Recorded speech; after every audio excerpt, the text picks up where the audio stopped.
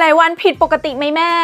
ลูกที่อายุ 1-4 เดือนลำไส้ทำงานได้ดีขึ้น จึงลดปริมาณการถ่ายต่อวันลง อาจเพบว่าลูกถ่ายทุกวันหรือไม่ถ่ายทุกวัน 2-4 วันถ่ายครั้งก็สามารถเจอได้ และหากลูกกินนมแม่ล้วน อาจพบว่าลูกไม่ถ่ายสูงสุด 20 วันเจอได้ไม่ผิดปกติค่ะเพราะนมแม่ย่อยง่าย ลูกสามารถดูดซึมเอาสารอาหารในนมแม่ไปใช้ประโยชน์ได้หมดเลย จึงแทบไม่เหลือกากที่จะขับถ่ายออกมาเป็นอุจจาระจึงต้องสะสมกากอาหารเพื่อได้ปริมาณมากพอแล้วถึงค่อยขับถ่ายออกมา จึงพบว่าลูกนั้นๆหลายวันถ่ายทีสูงสุด 20 วัน โดยที่ลูกร่าเริงกินนมได้น้ำหนักตัวขึ้นดี ต่อให้นานๆ หลายวันถ่ายที แต่ลูกถ่ายออกมาเป็นเนื้อสีเหลืองนิ่มดีแบบนี้ลูกถ่ายปกติพ่อแม่ไม่ต้องกังวลค่ะ หากลูกไม่ถ่ายคุณแม่ดูแลลูกดังนี้ กรณีลูกกินนมแม่ ตัวคุณแม่ไปกินผักผลไม้ เช่นพุนมะละกอเพิ่มการดื่มน้ำช่วยลูกอีกแรง เน้นให้ลูกกินนมแม่ส่วนหน้าเพราะนมแม่ส่วนหน้ามีน้ำตาลแลคโตสมีส่วนช่วยกระตุ้นการขับถ่ายนวดท้องให้ลูกเป็นรูปตัวยูคว่ำทำท่าเข่าชิดพุงทำท่าปั่นจักรยานในอากาศ ก็จะช่วยกระตุ้นการขับถ่ายลูก แต่หากกรณีลูกกินนมผงแล้วพบว่าลูกไม่ถ่ายหลายวัน คุณแม่อาจลองเช็คสัดส่วนการชงนมจากคำแนะนำข้างกล่อง เพราะการชงนมที่ข้นมากเกินไปอาจมีผลให้ลูกท้องผูกได้ แต่หากพบว่าลูกยังท้องผูกอยู่อาจต้องพิจารณาเปลี่ยนเป็นสูตรนมผงที่ช่วยในเรื่องของการขับถ่าย